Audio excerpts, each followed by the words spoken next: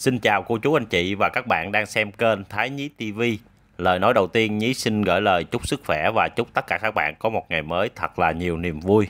Hôm nay Nhí sẽ giới thiệu cho tất cả các bạn một món xào rất là ngon dùng để à, cúng vào ngày 29 Tết nè, 30 Tết nè, mùng 1 Tết nè. Đây là món nấm đông cô xào hải sản.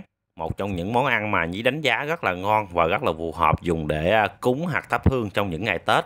Để biết được cách của Nhí hướng dẫn như thế nào thì bây giờ Nhí xin mời tất cả các bạn cùng vào bếp để tham khảo cách làm của Nhí. Thành phần nguyên liệu để thực hiện cái món nấm đông cô xào hải sản thì Nhí có chuẩn bị một ít tôm sú, mực và cá viên. Với hải sản thì các bạn chọn hải sản tươi sống thì món ăn sẽ ngon hơn. Bên đây thì Nhí có chuẩn bị là 200g nấm đông cô tươi, 100g cà rốt, 150g cải thìa, một trái ớt sừng không cay. Gia vị thì à, Nhí chuẩn bị 10g hành, 10g tỏi, một muỗng ăn canh dầu ăn, một ít tiêu đen xay, một muỗng cà phê nhỏ bột ngọt, một muỗng cà phê đường. Hôm nay Nhí sử dụng nước tương Tam Thái Tử xào. Đây là sản phẩm mới của nước tương Tam Thái Tử. Loại này nhà sản xuất giới thiệu là có thêm nước ép táo sẽ giúp cho món xào thêm thanh ngọt, bóng mượt hơn. Để Nhí dùng thử và giới thiệu cho tất cả các bạn xem nha. Bước đầu tiên thì à, chúng ta sẽ đi à, sơ chế rau củ. Với nấm đông cô tươi thì các bạn chỉ cần cắt bỏ phần cùi của nấm đông cô. Sau đó các bạn dùng dao cắt hai lần hình dấu cộng trên à, bề mặt của cái nấm đông cô. Như vậy thì chúng ta được cái nấm đông cô về hình dáng rất là đẹp. Cà rốt thì các bạn à, cắt làm đôi, sau đó các bạn khứa một vài lần để mình tạo thành hình văn cánh hoa. Sau đó thì mình à, sẽ cắt lát mỏng và cái độ mỏng vừa phải như vậy thì mình xào lên đó, cái phần hoa cà rốt này nó không có bị bể. Và bây giờ thì à, Nhí sẽ cắt hết cái phần cà rốt này. Sau khi à, mình cắt cà rốt xong, cái phần cải thìa thì à, các bạn sẽ tề bớt cái phần lá, sau đó mình sẽ cắt đôi cái cọng cải thìa ra như thế này là được.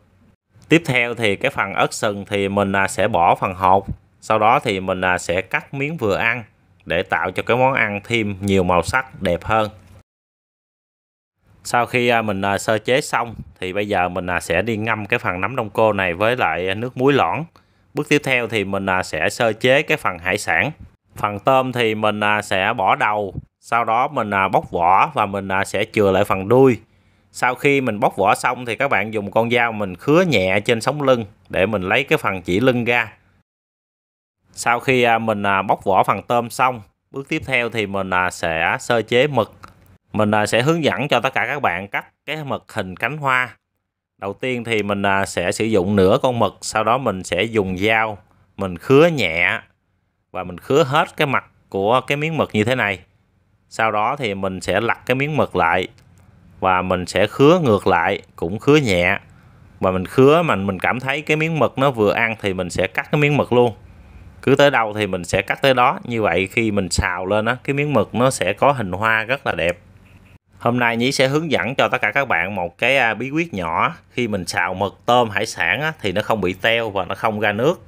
Mình sẽ chuẩn bị một ít nước sôi sau đó mình à, cho vào đây một ít muối một ít rượu trắng. Và bây giờ thì mình à, sẽ luộc sơ qua cái phần tôm với mực. Khi mình luộc xong như thế này mình xào cái món ăn nó sẽ rất là ngon. Nó không có ra nước và cái phần tôm nó sẽ giữ được cái màu sắc. Nhí sẽ cho thêm cá viên để mình luộc thì cái thời gian mình luộc hải sản tầm khoảng à, một phút rưỡi đến 2 phút là được. Bây giờ thì mình à, sẽ vớt ra. Và tương tự tiếp theo thì mình cũng sẽ chuẩn bị một chảo nước. Mình à, sẽ cho vào đây một ít muối để mình chần sơ qua cái nấm nè cà rốt với lại cải thìa. Để trong quá trình mình xào cái món ăn á, thì cái phần rau củ này nó sẽ nhanh chín. Nó sẽ giúp cho cái phần rau hoặc là thịt mình xào nó không bị nhũng không bị chín quá sau khi mình vớt nấm với cà rốt ra thì mình sẽ cho cải thìa vào, mình à, nhúng qua một cái là mình à, sẽ vớt ra liền các bạn. Sau khi cái công đoạn chuẩn bị đã hoàn tất, cái bước cuối cùng là mình à, sẽ đi nấu món ăn. Nhí cho vào đây một ít dầu nè, sau đó mình cho một ít hành tỏi vào, mình sẽ phi thơm lên. Sau khi thơm thì mình sẽ cho hải sản vào. Lúc này thì mình sẽ để lửa nhỏ bây giờ thì mình à, sẽ nêm gia vị. Tiêu nè bột ngọt đường và nước tương xào tam thái tử. À, về công thức định lượng thì à, nhí có ghi rất là chi tiết ở trong phần mô tả. Anh chị nào mà à, quan tâm về công thức hải sản xào nấm đông cô nè thì có thể vào phần mô tả xem giúp nhí. Với cái sản phẩm nước tương xào tam thái tử thì các bạn không cần phải sử dụng quá nhiều cái gia vị nhưng món ăn chúng ta vẫn giữ được một hương vị rất là thơm và ngon sau khi mình cho cái phần rau củ vào thì các bạn nhớ mình à, sẽ mở lớn lửa và mình sẽ đảo liên tục để cho gia vị nó ngấm vào rau củ cũng như cái hải sản. Và mình à, sẽ xào thêm tầm à, một chút xíu nữa. Thì khi mình cảm thấy cái phần hải sản cũng như rau củ nó đã ngấm gia vị, thì lúc này thì mình sẽ hòa quyện một ít bột năng để mình cho vào, mình tạo cái độ sánh của nước sốt.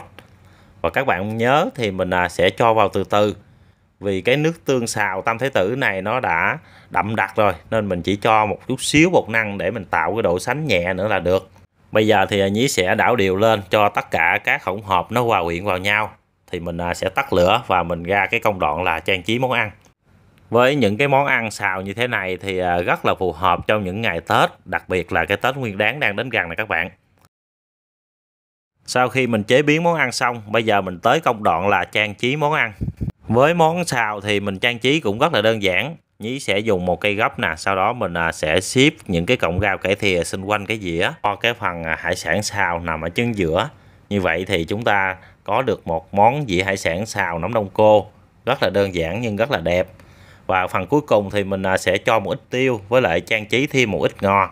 Như vậy thì cái món hải sản xào nấm đông cô đã hoàn thành. Ngoài nước tương tam thái tử dùng để xào, dòng sản phẩm nước tương tam thái tử cao cấp mới còn có thêm hai sản phẩm nữa là nước tương tam thái tử chấm đậm đặc và nước tương tam thái tử ướp kho đượm màu. Có ba loại cũng lạ ha. Bình thường thì à, nhí chỉ thấy nước tương với nước tương chứ chưa bao giờ nhí thấy nước tương chuyên dụng như vậy bao giờ. Dùng các sản phẩm này thì nhí thấy khá là tiện dụng, nhí không cần cho quá nhiều các gia vị khác vào mà món ăn vẫn thơm ngon như yêu cầu. Trong những video tiếp theo thì Nhí sẽ giới thiệu thêm cho các bạn ha. Còn bây giờ thì à, Nhí xin mời tất cả các bạn cùng thưởng thức món nấm đông cô xào hải sản, xào với à, nước tương xào tam thái tử, xem coi hương vị nó như thế nào. Bây giờ Nhí à, sẽ gấp một cái nấm đông cô nè, một con tôm nè và mời tất cả các bạn cùng thưởng thức với Nhí nha. Rất là tuyệt vời các bạn, một hương vị mới rất là hoàn hảo.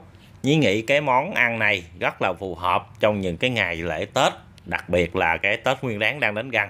Các bạn nhớ nấu món này để đãi cho gia đình người thân mình nha. Và bây giờ thì Nhí xin chào và hẹn gặp lại các bạn trong những chương trình tiếp theo. Bye bye các bạn.